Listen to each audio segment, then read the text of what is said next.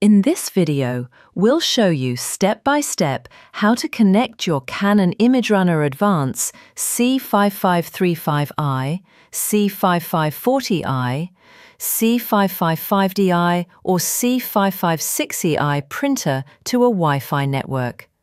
First press the Settings Registration button. On the screen you will see a Login button and tap it. In the password field type Default Administrator Password and press OK.